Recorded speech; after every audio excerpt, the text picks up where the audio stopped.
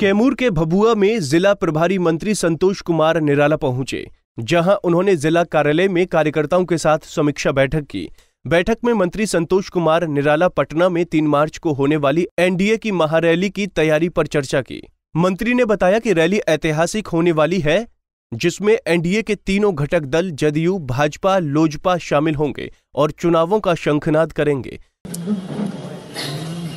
इतना ऐतिहासिक रैली हो गई कि बिहार के धरती पर वैसा रैली कभी पूर्व में नहीं हुई है और न आने वाले समय में उस प्रकार की हम लोग तैयारी कर रहे हैं। और हमारे सारे कार्यकर्ताओं में डीए के सभी पार्टी के पदाधिकारी कार्यकर्ताओं में इतना जोश है कि वो लोग सब लोग अपने तन मन धन से लग, लगे हुए हैं और उस महारैली में जाने के लिए तैयार है। हमारी माताएँ बहनें भी जाने के लिए तैयार हैं। नौजवान छात्र युवा सारे लोग जाने के लिए। बैठक में ज़िले के सभी कार्यकर्ता और पार्टी के पदाधिकारी शामिल थे।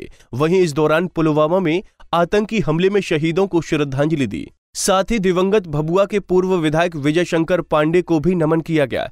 पंजाब केसरी टीवी के लिए कैमूर से अजीत गुप्ता की रिपोर्ट।